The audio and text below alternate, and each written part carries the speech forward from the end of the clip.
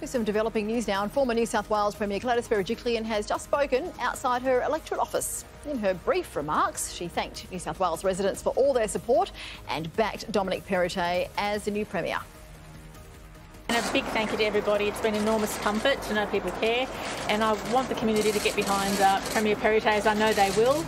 Uh, he will be an outstanding leader, and at this important time, we need everybody to follow uh, the Premier's uh, words uh, and make sure that we come out of this lockdown as safely as possible. Thank you.